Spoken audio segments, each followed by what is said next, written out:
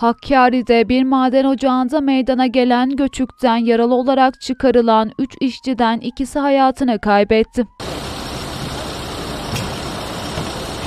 Hakkari Çukurca Karayolu'ndaki Üzümcü köyünde bulunan özel bir maden ocağında göçük meydana geldi. Göçükte mahsur kalan 3 işçi mesai arkadaşları ve köylerin yardımıyla çıkarıldı. Yaralı işçiler ambulansla Hakkari Devlet Hastanesi'ne kaldırıldı. Burada yapılan müdahaleye rağmen işçilerden ikisi yaşamını yitirdi. Diğer işçinin ise tedavisi devam ediyor.